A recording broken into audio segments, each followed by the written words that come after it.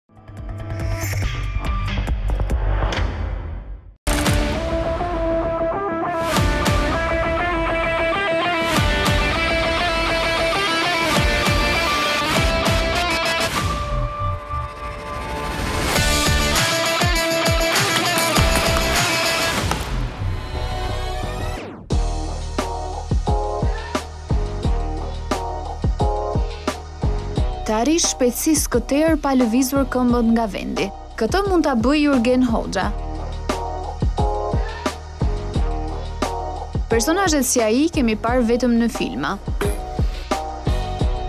Shigjetat për të janë adrenalinë dhe sfidë. Objektivi i tij i vetëm është tabela. Jurgen Hoxha Është ndër të paktët pasionantë dhe praktikantë të sportit të shigjetarisë në Shqipëri.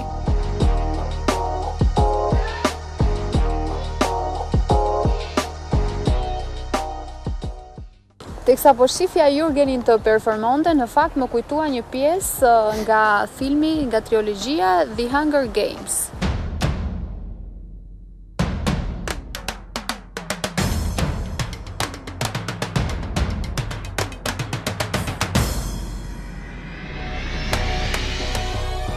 Të krahasojnë shpesh? Po, ndodh që të më krahasojnë, sepse aktualisht në Shqipëri është një sport i ri dhe më parë është parë vetëm nëpër filma, Kjo lloj disipline dhe normalisht që i duket çudi. Çfarë të ka lidhur ty me këtë sport që unë ende s'e di si quhet? Shigjetaria. Shigjetari. Në termin uh, shqip shqip kemi shumë fjalë ose gjuajtje me hark. Uh, Ti quhesh shigjetar apo harkëtar? Shigjetar, por dhe ndoshta edhe harkëtar, nuk e di. Mund të them që aprovimi im i parë në këtë disiplinë ka qenë në momentet kur kam qenë student në Universitetin e Sporteve të Tiranës, falë një projekti të Komitetit Olimpik Kombëtar Shqiptar në afrimin e sportistëve ose ish-sportistëve në një disiplinë të re olimpike. Aty u hasa dhe Falë një certifikimi ndërkombëtar si trajner, vendosa që më mirë të provoj emocionet e një sportisti dhe më pas karriera e trajnerit ka kohë për këtë pjesë. E ke parë më parë, kishe dëshirë të lidhte ndonjë gjë me këtë lloj sporti apo s'e kishe menduar kurrë veten në këtë disiplinë?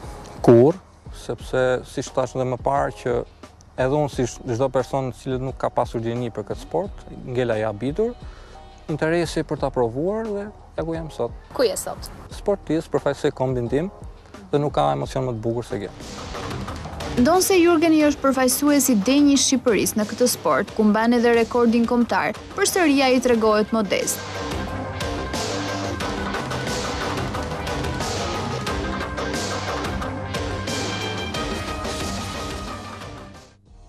Në çfarë garash ose ku e ke përfaqësuar Shqipërinë? Për herë të parë kemi marrë pjesë në lojërat Mesdhetare të zhvilluara në Tarragona, në Spanjë, në 2018.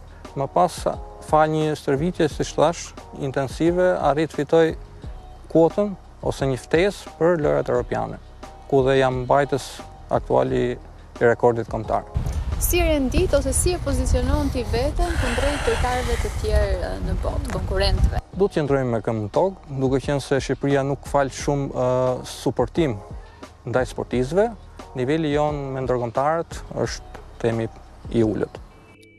Si çdo sport, është e kuptueshme që stërvitja të bën perfekt, dhe për Jurgenin, praktika dhe disiplina janë parësore, por ndonjëherë edhe kampionët kanë nevojë për pak pushim. Është ky herkëtimi, është një sport që ti e ke mësuar, ndoshta e ke mësuar lehtë, po sa i lehtë është që ta mësojnë të tjerët? Në fakt, në mënyrë rekreative është diçka e mundur, Por në momentin që dëshirojmë të vazhdojmë në etapat si sportist elitar, atëherë është e vështirë sepse nuk është çështja vetëm element teknik në hark, por që të duhet shumë stërvitje fizike, duhet një përkushtim full time që llogaritet nga 8 deri në 10 orë të mendosh vetëm për shigjetarinë, sepse ndryshe nuk do të kesh rezultate në turnetë ndërkombëtare. Ti je ky lloj njeriu që ndjek këtë lloj disipline për ditë tetë orë? Fazën kur kam marrë pjesë në lojërat europiane ka qenë full time, tetë deri në dhjetë orë, u detyrova të lija shumë punë, sepse fokusi im kryesor ishte shigjetaria. Duket si një sport i lehtë, por përqendrimi i duhur dhe precizioni të bëjnë më të mirin e kësaj fushe. Ose të bëjnë të humbasësh. Gabime ka pasur plot, sepse harku është një pajisje e cila nuk fal gabime teknike, peri mundet edhe të dëmtojë, sepse në momentin që ne japim tension perit, mund të godasim dhe krahun, prandaj ne kemi edhe një mbrojtëse. Në ato momente trajneri nuk na jepte mbrojtjen, për shkak që të na mësonte edhe me dhimbjen. Kam kujtime shumë të bukura, të themi hera e parë kur kanë qenë lojërat mesdhetare në një individuale me një sportist të Greqisë dhe në një moment shumë delikat të imin për të kthyer rezultatin, unë kisha bërë një mis, një shigjetë të humbur. Dhe humbja e shigjetës me sportistin grek më bëri që të humbas ndeshjen. Mund të quhet ky dështimi më i madh i karrierës tënde? Jo, ishte një emocion i bukur dhe unë gjithmonë do e kujtoj atë moment për të përmirësuar akoma më shumë. Në 10 gjuajtje, sa merr 10 pikë edhe sa humb? Mund të them që synimi im është të jem në rrathët e kuq dhe të verdhë. Aty është gjithë synimi jonë. Mos të dalim nga e kuqja. Ku je aktualisht? Jam tek e kuqja dhe pak e verdha. Ti i bën të gjitha vetë? Flasim në 70 metra. Sa metra ishim në këtu? Ne ishim në 15 metra. Mm, na pas ka bo me ile. Ti ke një profesion të dytë apo ky quhet profesion në fillim që ti merr të ardhur? Është është një sport që në Shqipëri nëse e ke profesion të parë mund të mundësosh një test me to. Një pyetje që të bën me qajt, të kthehet në profesion. Ekziston mundësi mundësi në momentin që institucionet tona shtetërore japin përkrahje trajnerëve që ata të jenë të sigurt në punën e tyre. Mos mendojnë të marrin të ardhura nga studentët, sepse është një sport luksi. Jurgeni ka vendosur që njohuritë dhe talentin e tij për sportin e shigjetarisë, t'ua transmetojë edhe të rinjve të tjerë të apasionuar pas harkut. Cilat janë tre këshillat që u jep nxënësve të tu, që ndoshta ty s't'i kanë dhënë kurrë? Tre këshillat që unë jap nxënësve të mi është të ëndërrojnë, të punojnë fort për to dhe të gjuajnë sa më shumë shigjeta. Tre këshilla që i jep vetes në këtë fazë ku je.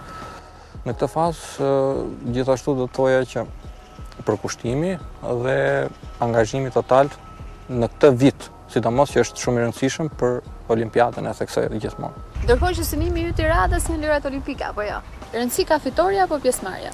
Do të jetë një ëndër nëse ne arrijmë të shkojmë të përfaqësohemi. duke shënuar dhe titullin olimpist. Jemi afër një shënimi historik në qoftë se unë do të marr pjesë në Tokio.